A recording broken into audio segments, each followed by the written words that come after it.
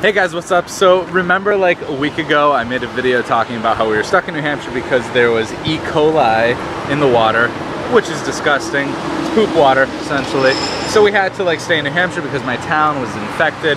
We're back here now and we're, we just showed up to our, our local liquor store. And the sign uh, for the liquor store is right across from the water department, town water supply, water department.